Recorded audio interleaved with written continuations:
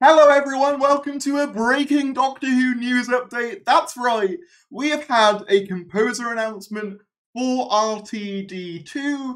It has been officially confirmed by all reliable places that Murray Gold is returning to compose for RTD2. Okay, this got announced like just now, and I'm so happy. No hate to Segun at all, I did enjoy some of his tracks, but I've been one of the few people, it feels like, who was more than happy with the idea of Murray Gold returning for composer, as composer, I should say. And yeah, just to see this happening, it's it's hugely exciting. And especially with, you know, uh, David and Catherine returning, it just makes sense. But yeah, let's just get right into the article. Oh, I'm so excited. I need to calm down. Whew. Um, all right. Doctor Who, Murray Gold confirmed to return as composer.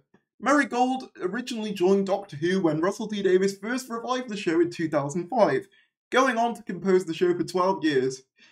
He has, he has scored some of the most iconic moments in history, from revamping the theme tune to creating music for the Dalek and Cybermen, to name just few.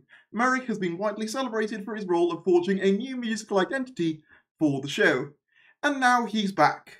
Murray Gold will once again work with the BBC National Orchestra of Wales, with his musical scores appearing when Doctor Who returns in November for three special episodes celebrating the show's 60th anniversary, with David Tennant as the 14th Doctor before Ncuti Gatwa takes control as the 15th Doctor, with his first episode airing over the festive period. So, I'm assuming it's full term, right? Because it doesn't say Series 14, but on returning to Doctor Who, Murray Gold says, I'm so happy to be invited back for another joyful ride in the TARDIS. I didn't think twice. Working with Russell and his team is just a pleasure. So yeah, it implies to me that it will be long term because I don't think they'd make an announcement like this if it was just a one-off thing. So yeah, this is hugely exciting. I wasn't expecting to get this announcement tonight, but I'm hugely excited. I'm hugely happy. I'm I'm made up honestly. I love a lot of Murray Gold schools. You know, The Doctor Forever. I am the Doctor. Shepherd's Boy. Um, all the strange, strange creatures. You know, there's just so many fantastic tracks. Endless Dalek Night. There's just so many that I absolutely adore. You know, this man has kind of defined my musical taste for so so long, and I'm hugely happy that he's coming back. And this is the thing. I don't think the 60th and the return of those characters would be the same without those themes coming back, without the Doctor Forever, without Donna's theme.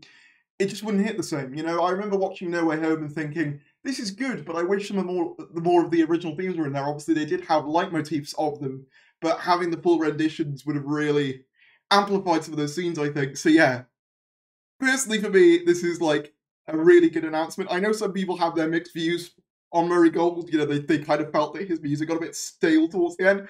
I'm personally not of that persuasion. I just think it came down to how they decided to use that music. But nonetheless, I'm very excited for this. Let me know down in the comments below what you think. If you did enjoy this video, be sure to give it a like.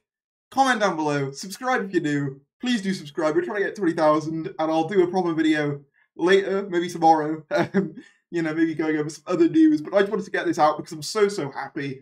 Let me know in the comments below what you think and I'll see you later.